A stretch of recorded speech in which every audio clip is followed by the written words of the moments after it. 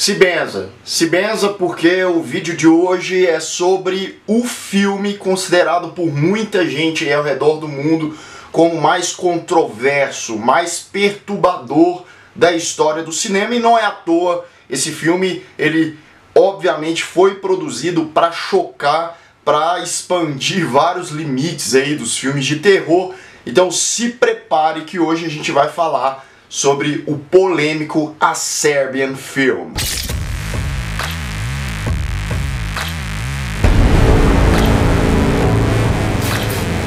Sejam todos muito bem-vindos a mais um Refúgio Cult, meus amigos, e mais um Dissecando, que é aquele quadrinho que a gente pega um filme né, mais polêmico, mais bizarro e vai dissecando algumas informações, bastidores, curiosidades sobre aquela produção. E o filme de hoje, nessa quarta edição do Dissecando, é o A Serbian Film, considerado aí mundo afora o filme mais ah, extremo do cinema aí de terror. E eu queria deixar alguns avisos antes da gente começar esse vídeo aqui. Primeiro, esse vídeo vai ter alguns spoilers. Sim, eu vou descrever algumas cenas, vou falar alguma coisinha ou outra não muito escrachado, porque o filme é muito violento. E isso leva a uma outra questão. Se você veio aqui esperando ver um monte de cena forte do filme, violenta, Infelizmente esse vídeo vai te decepcionar porque a gente sabe que aqui o YouTube tem certas políticas que podem tirar esse vídeo do ar ou desmonetizar e eu não quero que isso aconteça. Então a intenção aqui é debater, é discutir sobre o filme. Então vamos lá. É, a Serbian Film é um filme sérvio de 2010. É o primeiro filme do diretor Serdan Spasojevic. Eu acho que é assim que fala o nome desse indivíduo. E olha, primeiro filme o cara já chegou com o pé na porta querendo marcar aí mundialmente ele conseguiu. Né? O filme, mais uma vez, tem oito anos mais ou menos é, desde que ele foi lançado ele foi proibido em vários países, vários países da Europa, inclusive aqui no Brasil. Teve até várias é, repercussões em relação a esse filme, por quê? Ele foi proibido, depois ele foi liberado. Depois ele foi proibido, depois ele foi liberado. Rio de Janeiro, por exemplo, teve bastante aí é, é, ressalvas contra é, esse filme, né, não deixando ser exibido. O estado de Minas Gerais também. E em alguns países como a Austrália, por exemplo, o filme ele foi exibido, foi liberado, mas ele teve cortes de até 8 minutos da duração total. O filme, o, o corte final dele tem cerca de cento e poucos minutos, 105, 106 minutos. E esse filme, o, o diretor, quando ele foi entrevistado em algumas ocasiões, ele falou que precisava dessa, desse extremismo, dessa violência nua e crua, porque ele diz que é uma crítica à própria Sérvia. Né? Daqui a pouquinho eu vou entrar na história do filme, mas ele fala que muitos dos aspectos ah, exploratórios abordados nesse filme aqui foram muito recorrentes na Sérvia algumas décadas atrás, quando o país estava em conflito com outros países. Então rolava muita coisa, muitos assassinatos, muitos abusos, né? Soldados que invadiam lugares, invadiam casas e usavam de violências extremas e muitas famílias ficaram muito marcadas. Inclusive o diretor disse que viveu uma infância é, bem complicada por conta dessa cultura da guerra. Então ele quis expressar isso, mas aí a gente vai discutir daqui a pouco também se realmente esse tipo de produção precisa mostrar, precisa abordar com tamanho realismo e detalhismo para conseguir passar uma certa mensagem. Então, vamos lá para a história? Vamos abordar um pouco da história então. O Acerben Film, é, que ganhou aqui o título de Terror Sem Limites aqui no Brasil, que não tem nada a ver com o título original, mas a gente está no Brasil, país das traduções absurdas.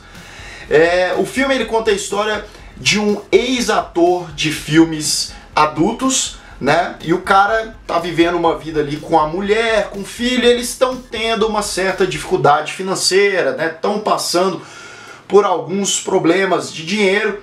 Aí chega uma ex-colega de trabalho, uma atriz ex-colega de trabalho desse cara e propõe um novo trabalho para ele, que seria o último trabalho dele. O salário que ele vai ganhar é muito atrativo, talvez o melhor salário aí da carreira do cara, ele já abre os olhos, né? Ele tá precisando. E a intenção é ser um filme adulto, mas um filme artístico, experimental, uma coisa, o cara pensa um pouco, mas ele decide aceitar até o momento que ele vai encontrar o diretor desse filme, que aparentemente você já vê que é um cara meio estranho, meio peculiar demais, né? E ele vai explicar que é um filme diferente, alternativo, que é um filme que vai revolucionar a história do cinema. Aí, beleza, né? O cara começa ali as filmagens. Então o protagonista entra num orfanato, ele tá com fone de ouvido e ele vai seguindo algumas instruções e entrando em alguns corredores, algumas salas desse orfanato. E é aí que a bizarrice começa a acontecer. Né? O cara entra, por exemplo, numa sala escura, né, que é uma cena que ficou bem famosa, e nessa sala escura tem vem uma mulher engateando. Você vê que é uma mulher que está perturbada, que foi é, visivelmente abusada de alguma forma ali e aquela mulher vai para né, fazer as coisas ali com um personagem. E quando começa a acontecer, ele olha para o lado e tem uma adolescente, uma menina ali de 12, 13 anos, vestida de Alice no País das Maravilhas, lá com cara de paisagem, observando aquele ato. O cara já começa a achar muito estranho. Quando ele começa a achar estranho, vem um cara por trás e segura ele para aquilo ali acontecer. Então ele já pensa, opa, tô me envolvendo numa coisa extremamente bizarra. O cara consegue se livrar dessa situação, fica pé da vida e decide abandonar o projeto. Fala que não quer mais, que aquilo ali é um absurdo, mas aí o cara é perseguido e ele acorda três dias depois, todo largado, né? Foi drogado, foi sedado. E aí ele vai tentar ir atrás do porquê que nego fez isso, porquê que o pessoal deixou ele drogado e o que, que aconteceu no decorrer desses três dias. Aí ele encontra filmagens do que, que aconteceu. Se você achava que o filme já estava bizarro, multiplique por um milhão, porque aí o filme fica extremamente bizarro conforme ele vai descobrindo o que aconteceu.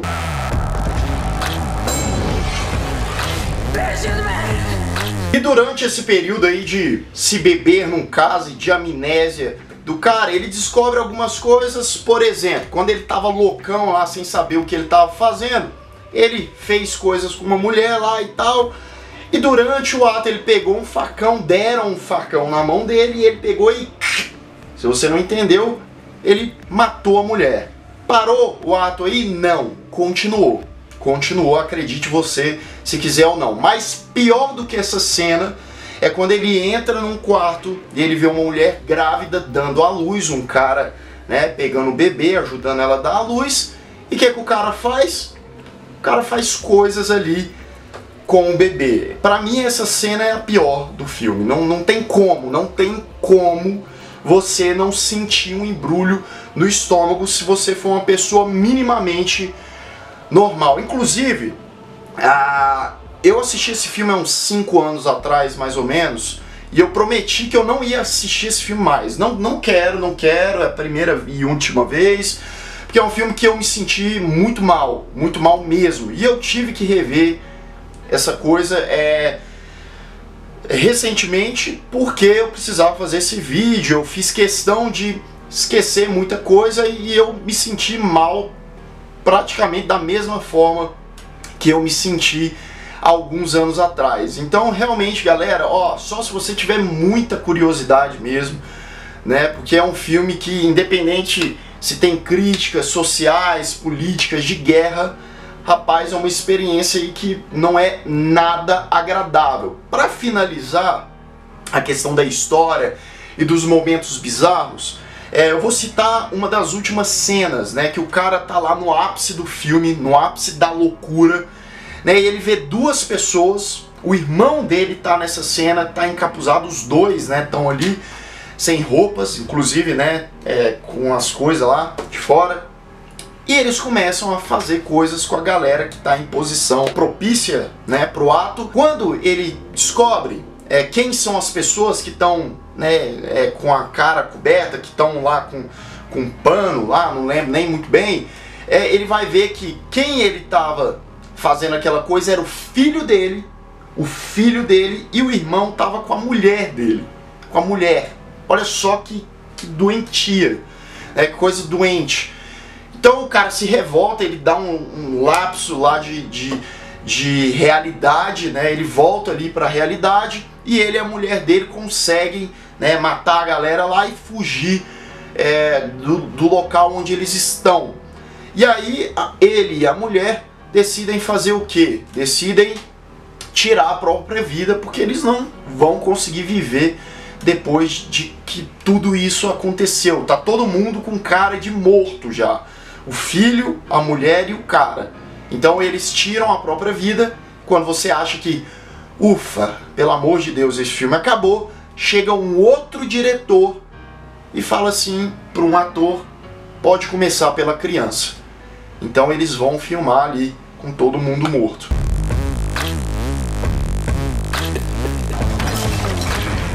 Ufa, né? Só, só de descrever, sério, tô suando, tô suando. Só de descrever não é uma experiência nada legal. Né? Então, é, eu quero até que vocês coloquem aí nos comentários se você já assistiu esse filme, o que você acha dele. Você acha que essa questão de ser uma crítica à violência, né, à guerra, ser uma, uma crítica às coisas mais é, absurdas, mais bizarras que o ser humano é capaz de fazer. Será que essa, essa crítica é bem-vinda? Será que um filme, para passar essa crítica, ele precisa mostrar momentos tão extremos, tão absurdos e violentos, sanguinários assim? Bem, aí eu, eu acho é, que a violência, até certo ponto, ela pode ser bem-vinda em um filme para demonstrar é, determinada realidade, determinada situação. Eu não sou também de mimimi para para ficar, ah, não pode isso, não pode aquilo. Não é à toa que eu amo os filmes do Tarantino, amo alguns filmes de terror que tem até um certo ponto é uma certa violência. Agora esse caso aqui é diferente, né? Esse caso é, como diz o título absurdo brasileiro, mas que querendo ou não tem a ver, é um terror sem limites, não tem muito limite não. Eles pegam as coisas piores que você possa imaginar ali nas entranhas da fossa da sua cabeça e realizam aqui nesse filme. Então esse foi o Acerbian Film. Bravo, bravo, bravo. Acho muito difícil um filme ultrapassar essa bizarrice é, pode ser alguns que chegam próximo, que seja igualmente, agora ultrapassar acho meio difícil. Tá? Então deixa aí a sua opinião. Se você ainda não é inscrito aqui no Refúgio Cult, se inscreva aqui embaixo, clique no sininho para receber todas as notificações do canal e deixe o seu like, que ajuda bastante aqui o Refúgio. Eu vou ficando por aqui, finalmente. É, a gente se vê no próximo vídeo. Um grande abraço e até mais.